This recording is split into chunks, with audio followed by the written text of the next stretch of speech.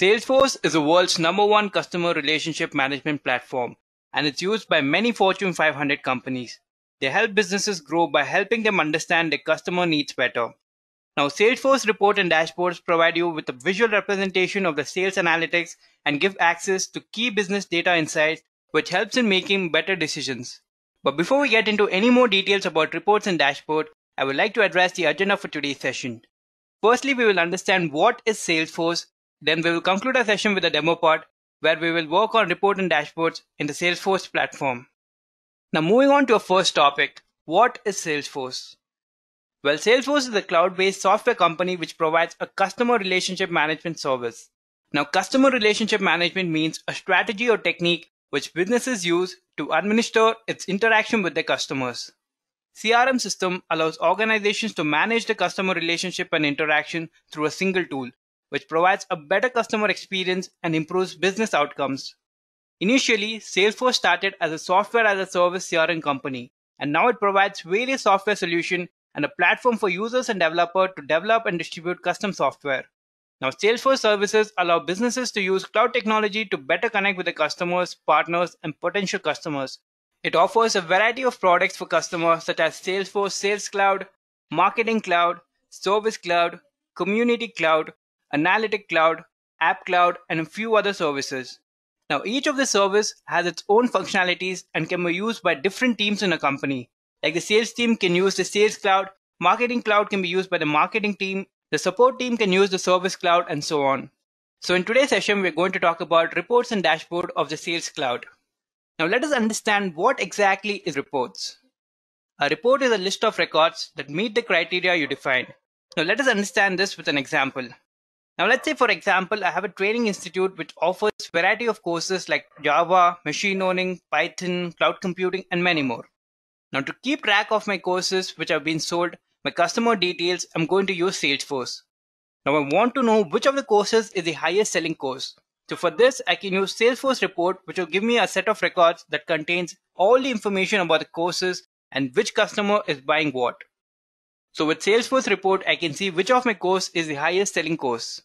Now reports are displayed in Salesforce in rows and columns and can be filtered according to a particular object. Let's say I just want to see the people who have registered for Java courses. So I'll just filter the data and find out which all people have opted for the Java course. Also with Salesforce report, we can group the data together and also display them in the form of graphical chart. A company or an organization can use reports to track progress towards its various goals. It could be controlling expenditure, increasing revenue, or any other business goals. Reports also help in predicting trends, such as which project is selling the most, which customer is buying the projects regularly, and many more. All this is an advantage of increasing your profit. In Salesforce, you can create reports in very short time and also schedule the reports. Salesforce provides a powerful suite of analytics tools to help you organize, view, and analyze your data. You can generate reports in various styles. Now let us understand what are the type of reports we can create. But before that, let us understand what is a report type. Now, a report type is like a template which makes reporting easier. The report type determines which fields and records are available for use while creating a report. Reports display only records that meet the criteria defined in the report type. Salesforce provides a predefined standard report types such as summary, tabular, mixed, and joined. Now you can also create a custom report type. For example, an administrator can create a report type that shows only job application that have an associated resume application without resume won't be shown in the report. So now I guess you have some idea about what exactly is report type. So let us see the types of report that are provided by Salesforce. First is the tabular report. Now tabular reports are the basic and simplest of any Salesforce report. They just display the rows of data in a table with the grand total. You can use tabular reports when you want a simple list or a list of items with a grand total. For example, you want to see the list of contacts or the list of leads based on a particular criteria you can use a tabular report. Also, this type of reports cannot be used to create groups of data or charts and cannot be used to create dashboards. The next report type is summary report. Now, this type of reports in Salesforce are the most commonly used reports. They provide a listing of data with grouping and subtotals. With summary reports, you can group data based on different criteria and then perform calculation to find out the total, maximum, minimums, and the average. These reports will help you analyze your data better and can be used when you want to create a hierarchically grouped report. such as sales organized by the year and then by the quarter. The next report type is matrix report. Now this type of records is a bit complicated. They allow you to group records both by rows and by columns. You can use matrix reports when you want to see data in two different dimensions that aren't related. For example, the date and the product which has been sold. Now these reports can be used to create dashboards. Moving on to the final report type, which is the joined report. The joined report can be used to group and show data from multiple report types in different views. The data in joined reports are organized in blocks. Now each block can have its own unique column, summary fields, formulas, filters, and sorting order. You can use this type of records to build a report to show opportunities, leads, and activity data for your accounts. These were the types of report provided by Salesforce. Now each report in Salesforce is stored in a folder. A user who creates a folder can control who has access to the contents of the folder. It can be based on roles, permissions, or any other criteria. They can make the folder public, which will be available to the entire organization, or make it private so only the owner can have access to the folder. Now each user has its own level of access to a report folder.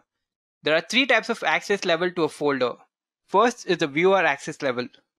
The user in this access level can only view the data in the report and cannot make any changes except cloning it into a new report. Next, we have the editor access level. Now, the user with this access level determines what data is shown in the report. They can view and modify the data in the report and can also move them from one folder to another. The third access level is the manager access level. The user who creates a folder is usually the manager. They control other users' access level to the folder. The manager can do everything the viewer and editor can do, but in addition, the manager can also control which user gets what access to the folder. Also, user with the manager access level can delete the report. Now this was about report. I guess now you have some idea about reports in Salesforce. Now let us move on to the next topic and see what are dashboards in Salesforce. Basically, dashboard is a graphical representation of the data generated by a report or multiple reports. It shows data from source reports as visual components. These components give a snapshot of key metrics and performance indicator of the organization. Now for each dashboard component, there is a single underlying report. However, you can use the same report in multiple dashboard components on a single dashboard. Now multiple dashboard components can be shown together on a single dashboard page layout, which makes viewing the report more interesting than viewing them in rows and columns. Now as I've talked about dashboard components so many times, let us understand what are they. So there are five types of dashboard components in Salesforce. The first one is charts. Now in charts, there are six types of charts you can choose from. The horizontal chart, the vertical bar chart, the line chart, pie chart, donut chart, and the funnel chart. Now viewing the data in a pictorial format is more visually pleasing and interactive than just viewing the data in rows and columns. Second is a gauze. You can use a gauze when you have a single value that you want to show within a range of custom values. For example, if you want to show the number of courses which were sold in a month, whether it was higher than the other month or was it lesser than the other months, you can show it with the help of gauze. Third is metrics. Now you can use a metrics when you have one value to display. For example, if you have a report showing the total number of courses sold or it's expected to be sold in the current month, you can just name the value as courses selling target for the month and display it on the dashboard. The next Salesforce dashboard component is table. You can use a table to show a set of report data in column form. You can use colors and scale to help users interpret the report data the table displays. Now an example for using table would be, now if I want to see the top 5 selling courses of all time, I can use table for that. Fifth Salesforce dashboard component is a Visualforce page. You can use the Visualforce page when you want to create a custom component or show information not available in another component type. Like reports, dashboards are stored in folders which control who has access to them. Now only if a user has access to the folder, they can view its dashboard. However, to view the dashboard components, they need access to the underlying reports as well. Now each dashboard has a running user. whose security setting determines which data to be displayed on the dashboard. Now if the running user is a specific user, all dashboard viewers see data based on the security setting of the specified user, regardless of their own personal security settings. For example, if you set the sales manager as a running user for the leaderboard for his or her team, this will allow the team members to view the leaderboard for the individual team but not the other teams. Now this was about dashboards in Salesforce. Let us move on to the next topic and see some of the benefits of reports and dashboards in Salesforce. The first benefit is you have visibility into data. Report and dashboards gives you easy access to key data insights which helps in making better decisions. It provides you real-time statistic of your company's information in very less time. The next advantage is it saves money and time. With Salesforce Report and Dashboard, you don't have to manually search for a particular field or entry. You can just search or filter the records based on the object you're looking for. According to a study, 4,000 Salesforce customers reported that they reduced the amount of time they spent making reports by 52% using Salesforce. Also, since they were paying someone to create those reports, they probably reduced their budgets as well.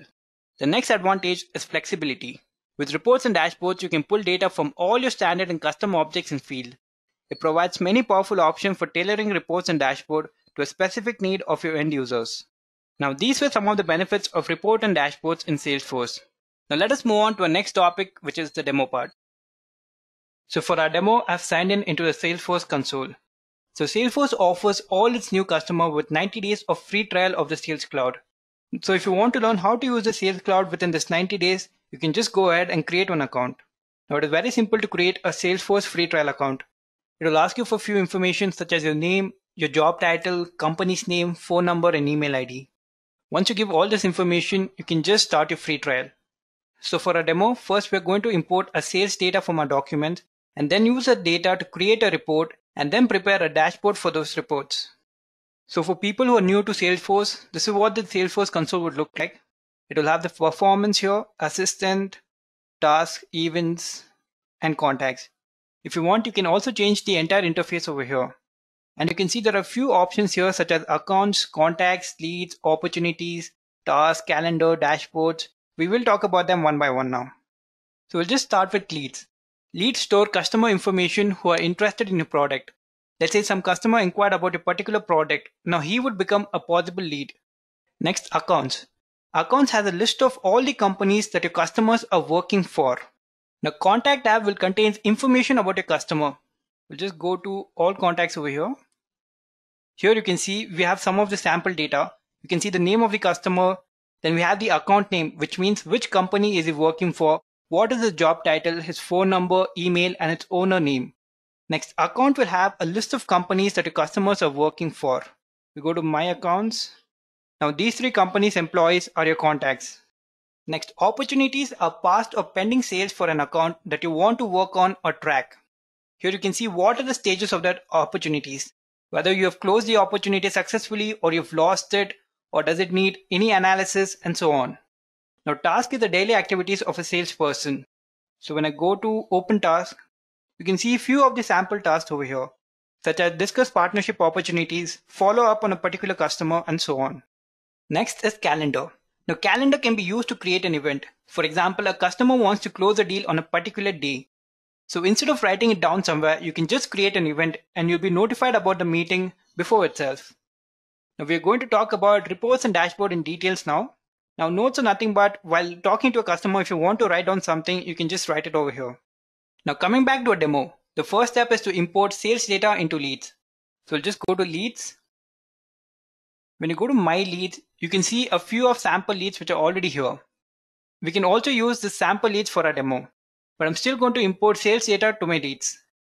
So click on imports over here select leads. I'm going to add new records. We can also update existing record or add new and update existing record both. So go to add new records. Now I'll just drag my file over here and click on next. Now one very important point to remember here is whenever you're importing any data, you should always have name, company's name, lead status object in your file. Then we click on next over here and we'll start the import. So you'll get a message saying, congratulations, your import has started. Now after I click OK, it will redirect me to the lead console. So when I click on all leads, you can see my leads have started appearing.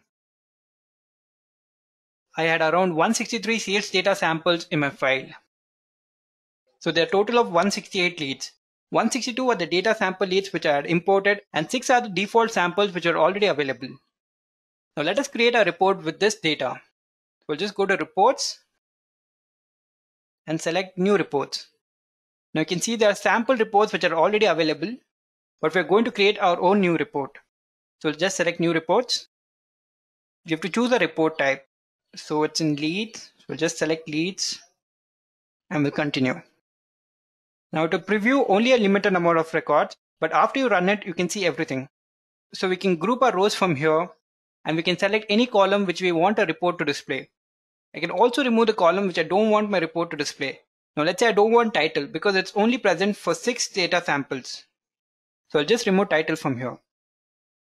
You can also filter your reports according to your convenience. Now let us group our rows based on lead status. So we'll just select lead status from here. Now you can see the records are grouped according to the lead status. We have three in new, two working, one nurturing, and 13 in shipped. Now this is only the preview, but in report we can see many more under shipped. Now in report you can also add charts. So if you just click on add charts over here, now you can see the number of new lead status, the working lead status, nurturing, shipped. Now this report actually contains two different types of data as there were sample leads before I imported, even those are present here. From the dataset I had imported, the status were only shipped and on hold. Now if you want, you can also change the type of charts. You can just click on the setting button over here and you know you can show it in donut format, in funnel, line. So to see this properly, we're going to create dashboards. So I'll just go to dashboards over here. Now first we have to save this. So we'll just save it. We'll name it demo report and folder that it be the same folder now if you want to add any description about your report you can also add it here but now I'll just let it be and just save this now let us create our dashboards so click on dashboards over here we'll have some of the sample dashboards over here if you want you can just go click on this and see how is the dashboard now if you want you can just click on any dashboard and see how it is so now let us create our dashboard. So we'll just go to dashboard, select new dashboard. So we'll name our dashboard demo dashboard.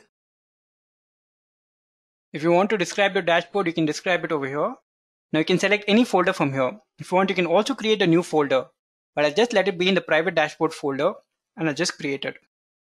Now a dashboard has been created. Now we have to add components to it. Now as I've told you before, there are five components in Salesforce dashboard which are charts, gauze, metrics, table, and Visualforce page. So we can select any one from those options. So we'll just go to add components. You must have a report to create a dashboard and use the dashboard components. Now we'll just select the report. Now here if you want, you can select any type of dashboard components.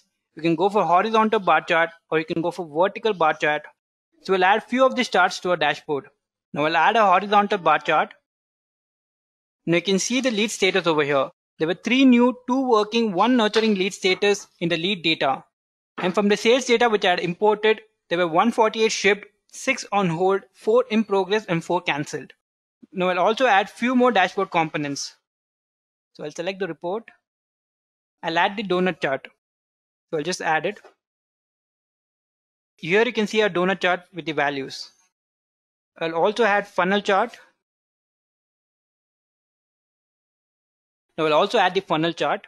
Now if I want, I can move this over here. I can add any of these dashboard components as well. Now it is up to you which dashboard components you want to add. We'll just add one more component. We'll just add the line chart. And here is the line chart. We'll just move it to the top. And we'll save the dashboard. Now you see it is very easy to create reports and dashboard in Salesforce. It is also very visually pleasing and interactive. And with this, we have come to the end of our session. I hope it was helpful. Happy learning.